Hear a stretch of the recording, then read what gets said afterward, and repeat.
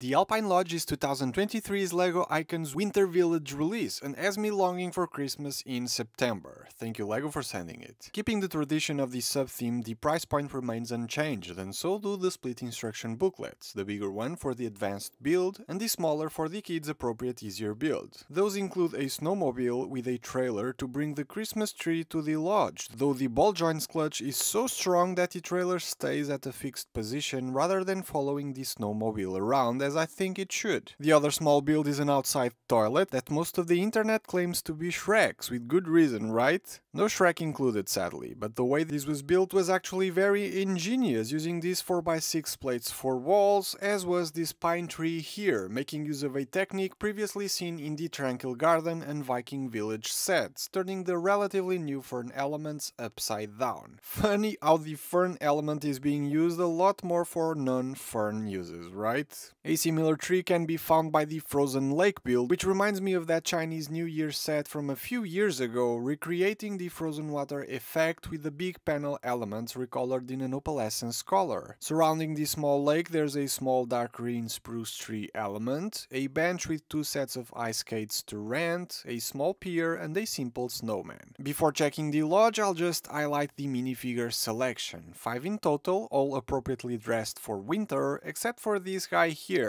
probably the owner of the place, also the only one without an alternate face print. Every other minifigure does have double-sided head elements, and these two also have extra hairpieces for when they remove their headgear. There's also a cat, a squirrel, and a red bird, by the way. The lodge itself is amazing, and there's really no point beating around the bush. The first floor is in my opinion the reason this will be one of the most sought after Winter Village sets of all time. A fine example of perfect piece usage to replicate a style of real world buildings previously almost impossible to achieve with LEGO. This log cabin effect was done with the use of a ton of these relatively new bow elements in three different sizes, broken here and there with the windows, door or the birdhouse to keep it visually interesting, but boy does it look good. I'm usually against the use of super specialized elements in favor of older ones, but I gotta hand it to LEGO, they did this brilliantly. The rest of the build isn't as impressive, but I can't really ask much more of it, honestly.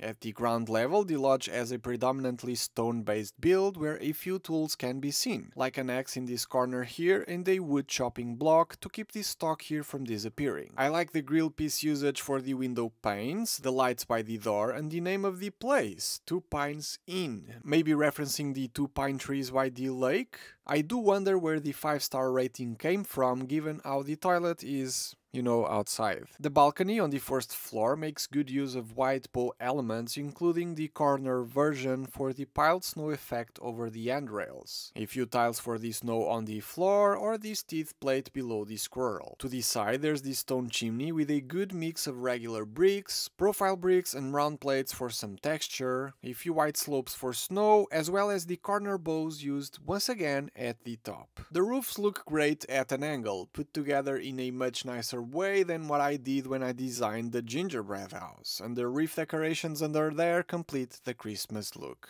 From the open back, we get a good look at interior details, starting with the ground floor with the fireplace burning away, that does in fact burn away kinda, by triggering the mechanism that pushes the light brick hidden within the stone chimney for a cool light up scene. By the fireplace there's a set of comfy couches and a table, in the back wall a self-service area with a coffee machine and some cookies, and right next to it a small desk complete with a pen and guest book. On the first floor there's the sleeping area with two beds with matching bedside tables, candles and a present. Above it a sticker for a painting of a farmer and his cow cow, maybe a reference to the farmer from the Lion Knight's castle, maybe something else, who knows. On the floor I like the snow footprints that match the ones outside by the balcony and by the bed to the left there's a heating source that uses the same trigger and light brick used to illuminate the fireplace on the ground floor so getting two times the value out of the same light brick is really inspiring and cost efficient. On the last floor there's yet another bedroom with similar furniture as seen before with a gift box that has binoculars inside. The Alpine Lodge really stands out out against previous non-fictional sets of Winter Village, mainly because of its mountain setting as opposed to the city-like style sets. That, on the other hand, could make it a bit hard to integrate in Winter Village displays, though I'm sure people will find a way to make it work. But who am I kidding? Have you guys seen this amazing technique for the cabin log style build? I kinda feel like buying two or three of these to make a small alpine town to display for Christmas, and you should too as soon as possible, because I get the feeling this is one of those products that will fly off the online LEGO shelves October 1st when it releases, links to purchase down below, and LEGO is known to struggle with inventory and restocking in the months that lead up to Christmas, so keep that in mind and I'll see you on the next one. Still doesn't beat my gingerbread house, but it's close. Very close. Wow.